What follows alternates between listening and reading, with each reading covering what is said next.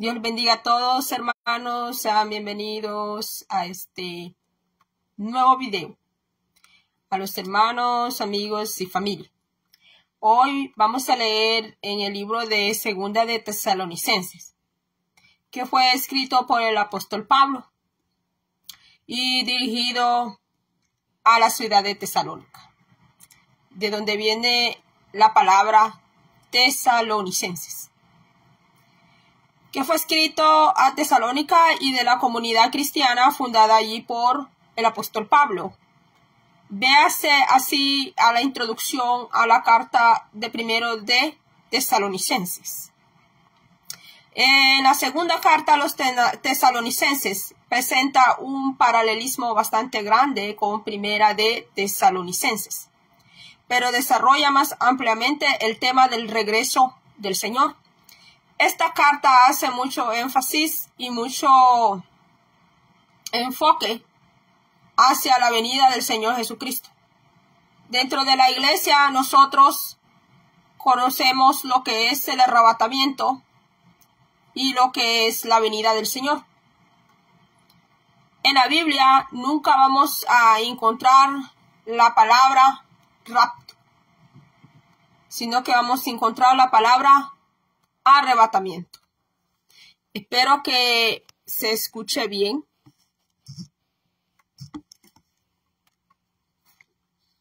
Ya que aquí estamos teniendo un clima con este bastante frío.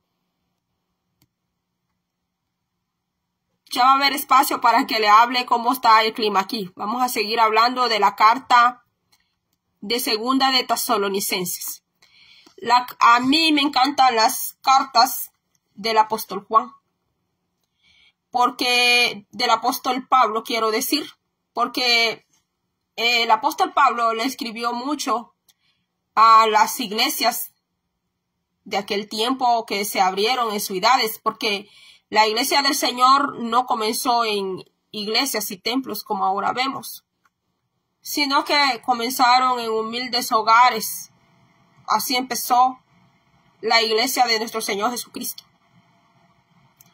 Eh, cuando vemos en la historia de la iglesia cristiana, es muy lindo y muy hermoso porque todo comenzó, la iglesia de Cristo comenzó con mucho amor, con mucha pasión a las almas, a las personas, de predicarles hablarles el Evangelio del Señor por amor. Con el amor de Dios en sus corazones, así empezaron los apóstoles. Así empezaron los apóstoles del Señor, los mensajeros, que por amor al Señor llevaban la palabra del Señor. Y así es como debe de ser hasta el presente. Entonces, la segunda carta de Tesalonicense se desarrolla el tema amplio en esta carta es el regreso de nuestro Señor. Ese es el tema central.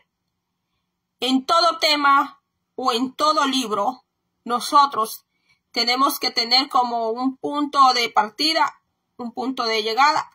Tiene que haber un eje, un tema principal del por qué ese libro y siendo la Biblia un libro con 66 libros, pero todo el libro le habla de la persona de Jesucristo. Habla de Dios, habla de Jesucristo y del Espíritu Santo. Empezando desde la creación, desde allí, y cuando finaliza ya en el Apocalipsis, vamos a ver que el Apocalipsis es un libro que si usted ve en el Génesis, ya me salí del tema tesalonicense, hermano, ya me salí. Porque cuando empiezo a hablar de la Biblia, esto siempre va a suceder conmigo.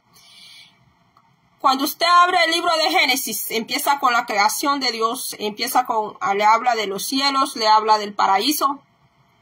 Y ahí en el Apocalipsis usted también se va a encontrar con cielos nuevos y tierra nueva porque Dios es perfecto. Gloria a Dios por, por el Señor. porque el Señor no se equivoca, ni se contradice.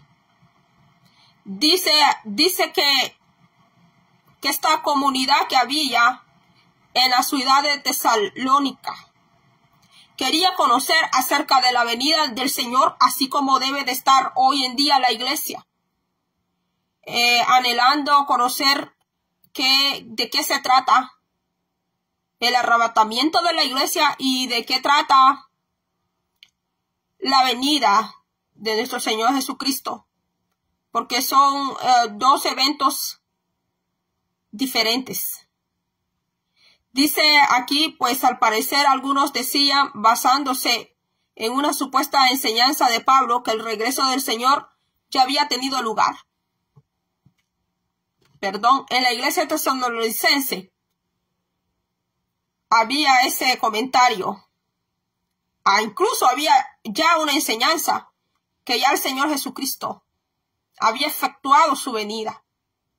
Entonces Pablo se ve en la grande necesidad como maestro que él era y conocedor de la palabra de Dios y que tenía la revelación del Espíritu Santo de darle a conocer a la iglesia tesalónica que la venida del Señor Jesús todavía no se había efectuado como en la iglesia de Tesalónica había empezado a correr aquella enseñanza y aquella, aquella, aquel comentario, aquella doctrina que ya nuestro Señor había venido.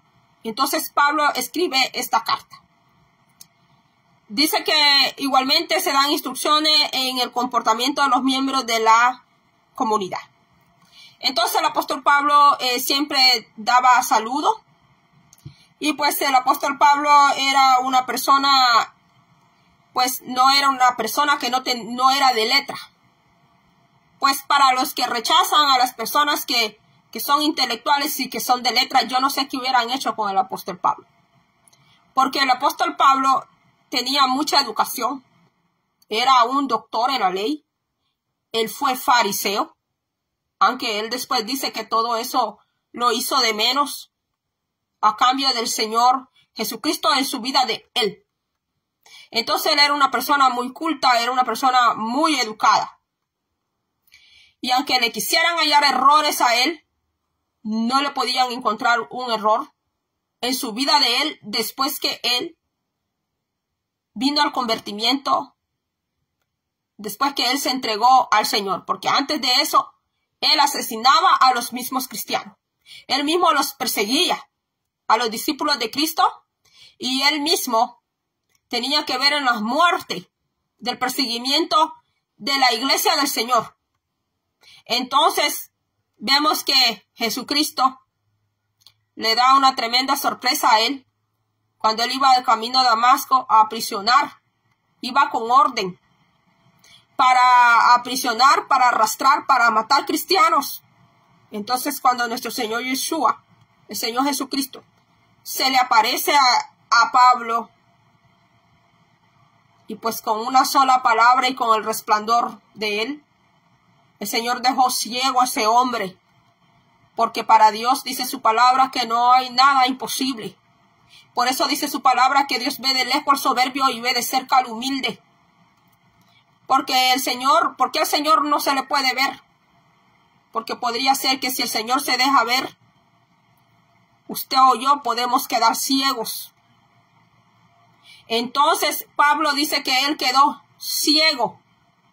Inmediatamente le, cuando cae al suelo, que cae tumbado del caballo al resplandor de su gloria, entonces le dice, ¿qué quieres que haga, Señor? Ya muy obediente él.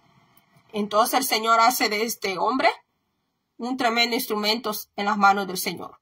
Y para los que no quieren a las personas que se preparan dentro del Señor, yo no sé qué hubieran hecho con Pablo, porque de Pablo no pueden decir que Pablo venía del vulgo, que Pablo era sin letra, que Pablo no era preparado, porque Pablo era muy preparado, muy preparado. Y Pablo no vivía a costa de los demás, porque Pablo, teniendo toda la preparación que él tenía y hablando varios idiomas, mínimo hablaba cinco idiomas, él era un constructor de tienda. Así era como Pablo se mantenía. Y hasta que él cae preso es que él ya no pudo seguir trabajando. Hay una fuente que dice que sus padres lo desheredaron a Pablo porque él eligió el cristianismo. Entonces vemos que Pablo nunca se aprovechó por ser apóstol. Pablo nadie lo mantuvo. Él no anduvo agarrando dinero de los, de los demás para mantenerse, sino que él dice que trabajaba, dice, así dice la palabra, que él era un constructor, lo que ahora equivale a un albañil, a un constructor. Entonces dice que él escribió esta carta a Tesalónica. Y dice aquí Pablo, Silvano y Timoteos, en el nombre del Padre, Hijo, Espíritu Santo, dice Pablo, Silvano y Timoteo saludan a la comunidad de los creyentes de la ciudad de Tesalónica, que están unidos a Dios nuestro Padre y al Señor Jesucristo, que Dios nuestro Padre y el Señor Jesucristo derramen su gracia y su paz sobre ustedes. Hermanos, siempre tenemos que dar gracias a Dios por ustedes como es justo que hagamos porque la fe de ustedes está creciendo y el amor que cada uno tiene por nosotros es cada vez mayor. De modo que nosotros mismos hablamos de ustedes con satisfacción y en las iglesias de Dios. Mire cómo era que Pablo hablaba de los miembros, de los hermanos, de la comunidad. Porque Pablo amaba a la iglesia de Cristo. Así como él amaba al Señor, amaba a la iglesia, amaba a los hermanos. Dice aquí que por la fortaleza y la fe que ustedes muestran en medio de todas las persecuciones y aflicciones que sufren. Ahí es donde yo quiero centrarme. Dice, esto es una señal del justo juicio de Dios y muestra que Él los ha juzgado dignos de entrar en su reino por el cual están sufriendo. Yo quiero hacerle una pregunta. ¿Está usted sufriendo o siendo perseguido a la causa de Cristo? Pero por la causa de Cristo.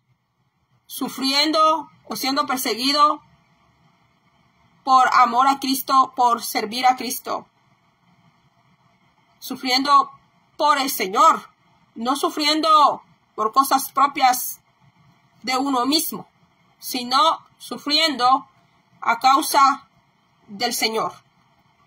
Entonces dice aquí, pues es justo que Dios haga sufrir, esta es segunda de Tesalonicense capítulo 1 y estoy en el verso 6 dice, pues es justo que Dios haga sufrir a quienes nos hacen sufrir a ustedes, dice el apóstol Pablo. Pero veamos que dice adelante, y que a ustedes los que sufren les dé descanso lo mismo que a nosotros. Esto será en el día en que el Señor Jesús aparezca con sus ángeles poderosos viniendo del cielo entre llamas de fuego. ¿Ha sucedido alguna vez que usted por servirle al Señor ha sufrido injustamente en su trabajo, en la iglesia, donde usted está trabajando para el Señor, donde usted se congrega y usted sufre injusticia, desprecio de los demás, por servirle al Señor. Eso se da. Pero dice aquí la palabra del Señor que en aquel día que el Señor venga en llamas de fuego, dice que vendrá, dice que Él va a dar ese sufrimiento que a usted le han dado, el Señor va a dar ese sufrimiento a quien se lo dio a usted pero cuando Él aparezca. Entonces, aquí, aquí vemos que tenemos que tener paciencia cuando a nosotros nos hacen daño, cuando a nosotros nos injurian, cuando a nosotros nos maltratan a la causa de Cristo. Por eso dice allá en Deuteronomio, dice, dice el Señor, mía es la venganza, dice el Señor. Dice el Señor en su palabra, que Él es el que da la paga y Él es el que da la retribución. Entonces dice aquí en 2 Tesalonicense 1.6 en adelante dice, pues es justo que Dios haga sufrir a quienes los hacen sufrir a ustedes. O sea que para el Señor es justo que aquellos que lo hacen sufrir a usted indignamente, injustamente para el Señor, sí, Él, él aprueba que aquellos que hacen sufrir a los demás por, por servirle al Señor, que, que sí, que paguen por ese sufrimiento que hacen sufrir a los demás. Porque Dios es justicia y Dios ama la justicia. Y la justicia es uno de los atributos dentro del carácter de Dios.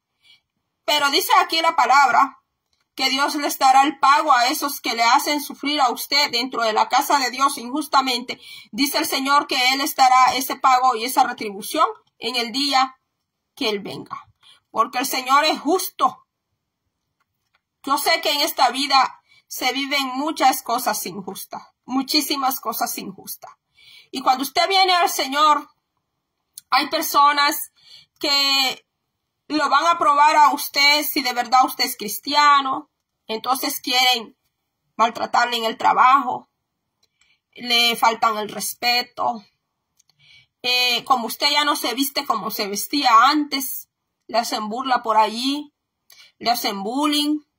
Este, como usted ya no se maquilla como se maquillaba antes, porque antes se maquillaba con todos los colores del arco iris, aquí. Y ahora usted ya no, usted ya manda así. Entonces, sin que usted diga que usted es cristiana, hay personas que, que saben leer y dicen es cristiana porque, bueno, híjole, ya no, ya no, pues ya no se maquilla como antes. Este, antes como andaba, antes como andaba toda ella. Y ahora pues es diferente, me parece que se cristianizó, se hizo aleluya. Entonces hay personas que saben leer eso sin que usted diga que usted se ha hecho cristiano, usted se ha hecho creyente, porque usted ya no participa en las mismas allanadas que, que las demás, los demás hacen, porque usted ya no dice esas palabras obscenas, porque usted ya no se incluye allí en el grupo. Entonces van viendo esos cambios en usted, porque usted ya no se junta a tomar alcohol, a tomar cerveza, porque usted ya no practica lo que usted practicaba antes, porque usted, si antes tenía tres, cuatro mujeres, ahora usted solo tiene una. Entonces, todo, todas esas cosas, los demás lo ven, entonces les da como por probarlo a ver si usted de verdad se ha hecho cristiano o no. O si usted va a ceder a sus tentaciones, a sus provocaciones que ellos hagan. Y otros van a llegar más lejos. Otros en su trabajo lo podrían hacer quedar a usted en mal. Que usted pues ni ha, abierto su boca ni ha dicho nada, pero lo culpan a usted, lo van a poner en mal con el jefe. Eh, hacen cosas para dejarlo en mal a usted sin usted haber hecho nada porque usted es creyente, usted es cristiano. Entonces, los, los de la comunidad de Tesalónica, de la iglesia de Tesalónica, los hermanos estaban viviendo esto ellos estaban viviendo injusticia, estaban viviendo maltrato de los demás. Y a veces lo que más le duele a un creyente cristiano no es el maltrato que, que recibe allá afuera. Porque el creyente cristiano entiende y comprende que, que esas personas que lo maltratan allá afuera no son creyentes, no, no tienen fe, la fe de Dios todavía no la tienen en su corazón. Entonces el creyente cristiano soporta, entiende y comprende eso. Pero muchas veces lo que al creyente cristiano le duele mucho y le duele en su corazón es un dardo en su corazón y es un dardo que hace doler y sangrar a su corazón. Es cuando su propio hermano, cuando su propio hermano en Cristo, porque en Cristo Jesús se viene a ser una sola familia en Cristo Jesús, en la fe de Cristo. De todo esto escribe el apóstol Pablo. Muchas veces lo que al creyente cristiano le duele no es un dardo, una traición, un maltrato de una persona que no tenga a Dios en su corazón, sino de su propio hermano que tiene allí dentro de la iglesia el daño o la traición de su propio hermano o de su propia hermana allí dentro de la iglesia. Porque aquí tenemos, de esto está hablando el apóstol Pablo. Entonces el apóstol Pablo fue muy consejero de las iglesias, como en la iglesia de Corintios, que los hermanos se pasaban peleando unos a otros. Así como hoy. No solo los tiempos de Pablo, sino que así como hoy. A veces los pastores ya no saben ya qué hacer, cómo, cómo conducir la iglesia. Porque si corría este, no corrigió al otro, quedó bien con este, pero con el otro no quedó bien. Entonces, vemos que Pablo era un hombre que vivía en la presencia de Dios, a pesar de tener sus propias responsabilidades, pero era un hombre que tenía muchísima sabiduría de Dios para hablar con la palabra. Entonces, porque Pablo aquí no andaba buscando quedar bien con esta oveja y con la otra y culpar a esta y a la otra no culparla. De, esto está hablando aquí el apóstol Pablo en la carta de Tesalonicenses. Entonces él habla aquí y dice que ustedes los que sufren les dé descanso. Cuando el Señor venga, aquellos que han sufrido tantas injusticias, tantos maltratos dentro de la iglesia, dice que a ellos les dará descanso, les dará reposo, como dice allá la palabra en Apocalipsis, que ya no habrá, que Él enjugará toda lágrima de sus mejillas, que ya no habrá dolor, porque adentro de la iglesia también hay hermanos que sangran, su corazón sangra por el maltrato que han recibido de otro hermano, de otra hermana. Y aunque le pidan perdón a esa hermana, esa hermana, sí hay perdón al Señor Jesucristo. Pero puede ser que el dolor que ha quedado ahí adentro. Y es el dolor el que tiene que ser sanado. Es el dolor que tiene que recibir un tratamiento de parte del Espíritu Santo para poder sanar. Y solo el Espíritu Santo es el que tiene ese bálsamo para poder sanar esa herida, ese dolor, que aunque mi hermana, mi hermano ya me pidió perdón, un ejemplo, me estoy poniendo yo de ejemplo, que pidió perdón, pero todavía hay un dolor que tiene que ser tratado, que tiene que ser tratado por el mismo Señor. Entonces dice aquí, esto será en el día que el Señor Jesús aparezca con sus ángeles poderosos viniendo del cielo entre llamas de fuego. Vendrá, esto está hablando que esto será su venida no el arrebatamiento, sino su venida. Entonces dice, vendrá para castigar a los que no reconocen a Dios ni obedecen al Evangelio de nuestro Señor Jesús. Estos serán castigados con destrucción eterna. ¿Quiénes serán los que serán castigados con destrucción eterna? Aquellos que aborrecieron el Evangelio del Señor, aquellos que aborrecieron al Señor. Y dice aquí, Estos serán castigados con destrucción eterna y serán arrojados lejos de la presencia del Señor y de su gloria y de su poder. Ese será el castigo. Que serán alejados de la presencia del Señor porque Dios dio tiempo para arrepentimiento. Cuando el Señor venga aquel día para ser honrado entre su pueblo santo y admirado por todos los creyentes. ¿Por qué? Porque hasta hoy en esta tierra esta tierra habita gente que honra, que honra a Dios y habita gente que no honra al Señor.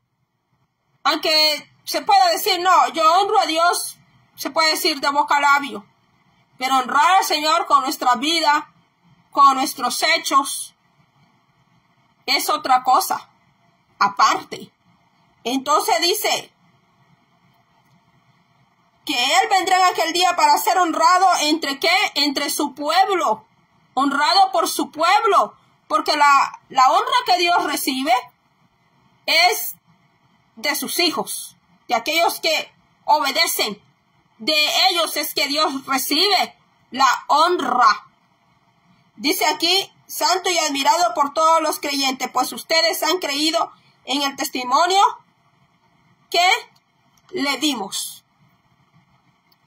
Entonces el tema de este video es, ¿estás sufriendo injustamente está siendo perseguido. Porque tan cierto que las personas pueden aguantar injusticias, maltratos de personas que no son de su familia. Pero cuando se trata de su propia familia de sangre y carne, o cuando se trata de la familia en la fe de Cristo Jesús, allí no es fácil. No es fácil y no es sencillo. Y cuando se habla del perdón, Dios sí tiene la, la capacidad del perdón automático, porque Él es Dios todopoderoso. Él sí tiene la capacidad de echar todos los pecados a la fondo de la mar y no acordarse jamás nunca de todo lo negro, lo rojo, de todo color de clase de pecado que la persona hizo, porque Dios es Dios y Él tiene esa capacidad. Pero el ser humano tiene un corazón y tiene una mente finita que no es como la de Dios. Entonces el ser humano, el, el perdón, tiene que trabajarlo, no es así rápido, no es así automático como una máquina que usted le metió un dólar y ya rápido le dio ahí una soda, una botella de agua. El perdón es un proceso. El perdón hay que trabajarlo. Pero aquí dice que para Dios sí es justo. Pues eh, es justo que Dios haga sufrir a quienes los hacen sufrir a ustedes, porque Dios ve y Dios oye y Dios ve todas las injusticias que a usted le hacen. Dios ve todos los maltratos que usted recibe a causa del nombre de Él. Porque a veces pues se reciben maltratos y se reciben malos comentarios, pero a veces por el mismo actuar malo de la carne, de las mismas malas actitudes. De eso no está hablando la Biblia. La Biblia está hablando de aquellos sufrimientos y perseguimientos a la causa de Cristo Jesús. Así como los primeros cristianos y los apóstoles que la, por la causa de Cristo. El Coliseo romano fue creado con las manos de los primeros cristianos. En el Coliseo romano, ahí mataron a muchos cristianos por creer en el Señor por la causa de Cristo. De ese sufrimiento es que está hablando de la Biblia. ¿Cuántos misioneros, cuántos misioneros o evangelistas han muerto cuando han llevado la palabra del Señor a las selvas? ¿Cuántos de ellos han muerto en accidentes? ¿Cuántos de ellos han enfrentado hasta enfermedades por causa de llevar el Evangelio? por llevar la palabra de esos que está hablando el apóstol Pablo. No está hablando por recibir maltrato, porque es un chismoso, porque es una chismosa, porque es un buchinchero, porque es una buchinchera, porque es un envidioso, porque es una envidiosa, porque es una, es una persona lo todo, porque es una persona arrogante, porque es una persona que quiere ser el número uno, y recibe maltratos por, es, por esas cosas. De eso, no, de eso no es de lo que el apóstol Pablo está hablando aquí. El apóstol Pablo está hablando cuando usted y yo trabajamos dentro de la palabra del Señor y por hablar su palabra somos blasfemados, somos ofendidos, somos vituperiados, pero ahí dice el Señor, dice el Señor en su palabra, que alegraos cuando sea vituperiado a causa de mi nombre, dice el Señor en el libro de Mateos, porque vuestro galardón, dice el Señor, es grande en los cielos. Y acuérdate que ese galardón no te lo van a dar aquí en la tierra. Ese galardón va a ser dado allá en el cielo, ante la presencia de Dios y los santos ángeles del Señor. No va a ser aquí en la tierra, ese galardón no va a ser dado aquí porque los galardones dados aquí en la tierra se pudren, se queman, se corrompen. Por eso dice el Señor en el libro de Mateo, haced vuestro tesoro en los cielos, porque ahí donde esté vuestro corazón, ahí estará vuestro tesoro. Si su corazón está en el cielo, dice que ya no hay ladrón ni, ni nada, ni hollín que lo pueda podrir. ¿Para qué querer hacer tesoros en esta tierra cuando hay muchos ladrones? Tú mismo, tú mismo cónyuge te puede salir robando todo. Tu propio hijo, tu propia hija te puede salir robando todo. ¿Sabes por qué? Porque las traiciones vienen de aquellos que están de tu lado. Esos que te conocen más, de ahí vienen las traiciones, no vienen de los que te desconocen. ¿Quién traicionó al Señor Jesucristo? Lo traicionó Judas, el que mostraba más confianza para entregarle la tesorería. Porque Judas era un hombre estudiado, tenía conocimientos mercantil en administración. Él no era una persona sin letras. Él no era eso. Entonces, él sabía cómo ministrar, administrar y tenía que inspirar confianza. Judas tuvo que haber inspirado confianza a los demás, demostrar ser un buen administrador para llevar la tesorería del Señor Jesucristo.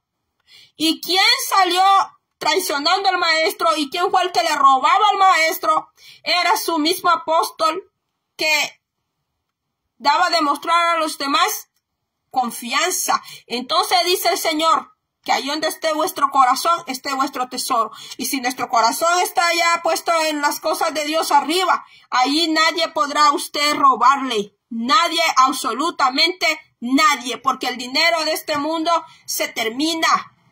El dinero de este mundo es solamente para este mundo. Allí en el cielo no entra ninguna moneda.